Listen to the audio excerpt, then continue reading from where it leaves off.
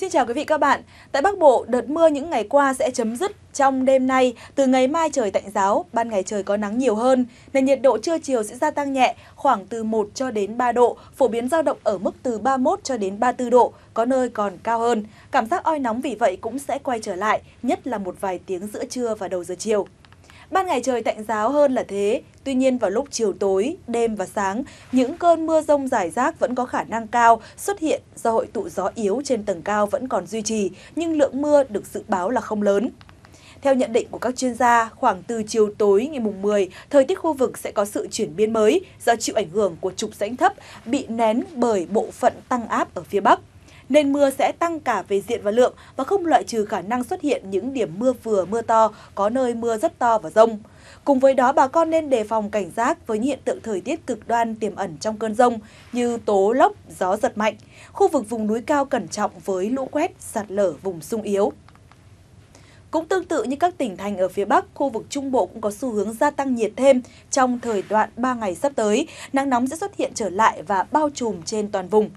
Nhiệt độ cao nhất trưa chiều dọc ven biển, khu vực từ Thanh Hóa trở vào đến Phú Yên sẽ phổ biến ở ngưỡng là 33 đến 36 độ. Còn ở tại khu vực từ Khánh Hòa trở vào cho đến Bình Thuận, mức độ oi nóng có phần thuyên giảm hơn, với mức nhiệt hầu hết các nơi đều không vượt quá 35 độ.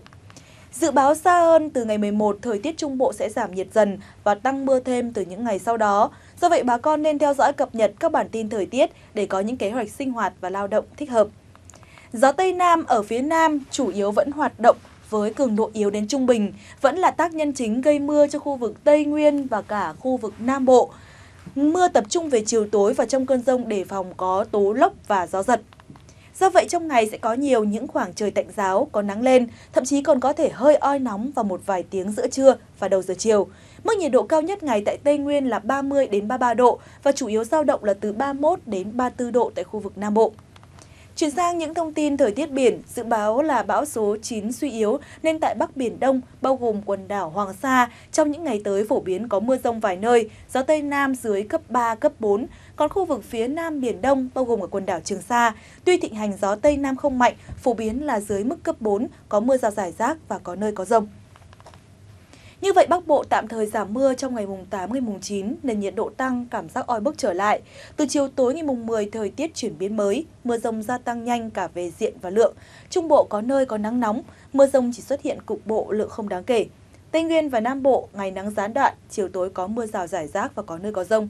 Và đến đây thì bản tin thời tiết cuối ngày mùng 7 tháng 9 cũng xin được khép lại. Xin kính chào tạm biệt và hẹn gặp lại.